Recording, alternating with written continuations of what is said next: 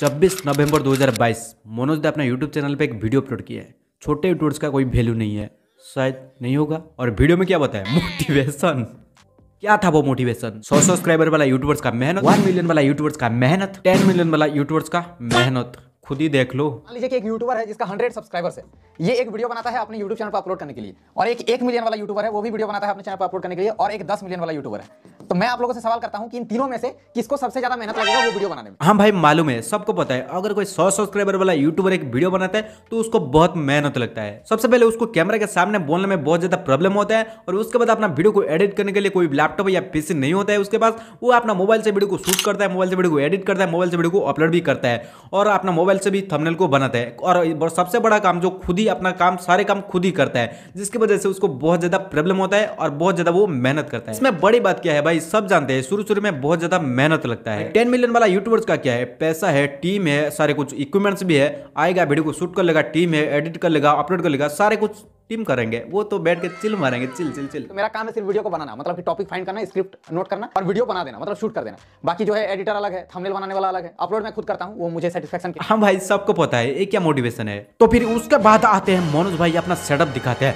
ये देखो मेरा सेटअप यहाँ पर बल्ब नहीं है एक ही बल्ब जल रहा है मेरे पास कोई कैमरा नहीं है दो मेगा पिक्सल कैमरा में मैं शूट करता हूँ वगैरह वगैरह बोलते रहते हैं। ये जो है मेरा एक रूम के अंदर में मैं बैठा हुआ हूँ जस्ट चेयर लगा हुआ है पीछे देखिए घर कैसा दिख रहा है बैकग्राउंड कैसा दिख रहा है और उस टाइम एक लाइट भी नहीं। था। लाइट जो है वो घर का जो बल्ब होता है जो एक बल्ब जलता है वो बल्ब जल रहा है जिस वजह से इस तरह का क्वालिटी आ रहा है। और मेरे पास उस टाइम एक शायद सैमसंग का कोई मोबाइल था एंड्रॉइड फ़ोन अच्छा मोटिवेशन था?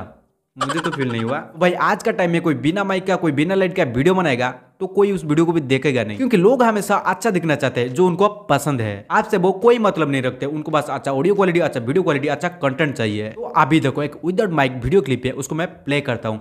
में कस्टम रिकवरी इंस्टॉल कर सकते हैं। मतलब कि फ्रेंड्स कस्टम रिकवरी बहुत प्रकार के होते हैं जिसमें से मैं दो एग्जांपल बता देता हूँ। क्यों? पसंद नहीं आया।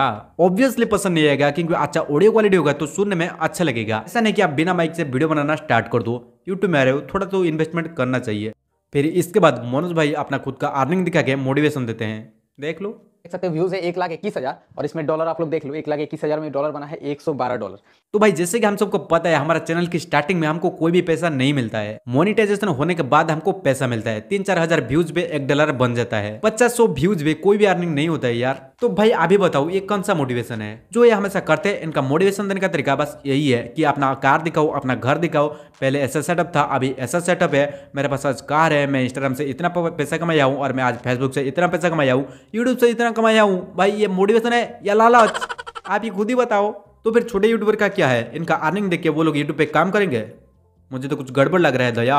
एज ए मोटिवेशन आप लोग इस वीडियो को ले सकते हो। तो हमारा मनोज भैया हर महीने ऐसे तीन चार मोटिवेशनल वीडियो अपने चैनल पे अपलोड कर देते हैं जिसको देखकर अपना छोटे यूट्यूबर्स लालच में आ जाते हैं। सॉरी सॉरी मोटिवेट हो जाते हैं। असली में तो भाई लालच में ही आते हैं। और इस तरह का अर्निंग देखकर कोई भी लालच में आ सकता है। कल हुए यार। तो भाई इस वीडियो पे मैं कोई भी हेट नहीं फैला रहा हूँ, बस इतना ही बोलूँगा, छोटे उड़ चुका, लालच नहीं, हौसला बढ़ाओ। अगर कहीं आपको इस वीडियो पसंद है तो वीडियो को लाइक कर दीजिए, चैनल पर नहीं है तो चैनल को सब्सक्राइब कर दीजिए, साथ ही बगल में जो बेलाइकन है, उसको प्रेस कर दीजिए, ज़रूर सब्सक्राइब करके जाना, ठीक है? और कहीं मिलते हैं नेक्स्ट वीडियो में तब तक बाय जय हिंद।